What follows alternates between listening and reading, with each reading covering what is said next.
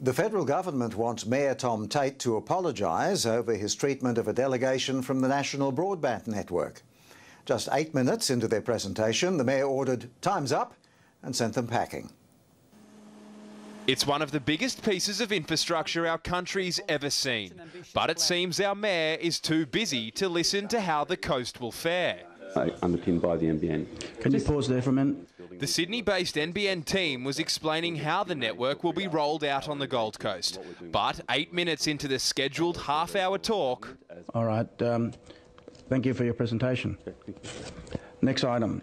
Thank you very much and on your way. Um, eight minutes, I don't get a lot uh, to communicate in eight minutes.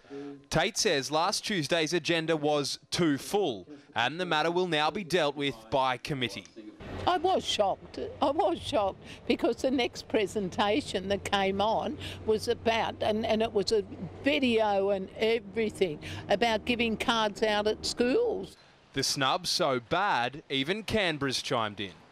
This is just a disgraceful performance by an arrogant council, and they should just publicly apologise to the NBN companies.